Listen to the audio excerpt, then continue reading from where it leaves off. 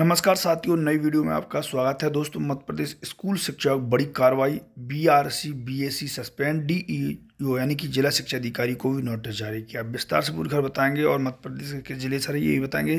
तो आप लास्ट देखें और इस पर अपने विचार लिखें।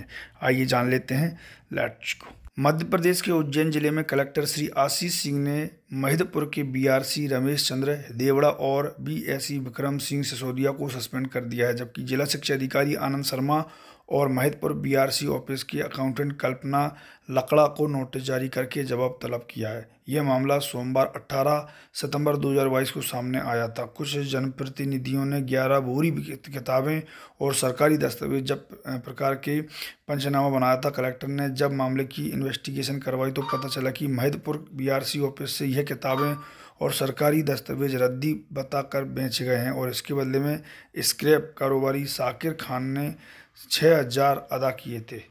जाँच में स्पष्ट हुआ कि सभी किताबें गरीब बच्चों को बांटने के लिए लाई गई थी। किताबों को ना तो वितरित किया गया और ना ही वापस किया है इस मामले की जानकारी होने के बावजूद जिला शिक्षा अधिकारी आनंद शर्मा ने कोई कार्रवाई नहीं की है, इसलिए उन्हें कारण बता नोटिस जारी किया गया है। लेखापाल कल्पना लकड़ा की ज़िम्मेदारी थी कि वह रिकॉर्ड मेंटेन करे परंतु उसने भी कर्तव्य का पालन नहीं किया, इसलिए नोटिस दिया गया।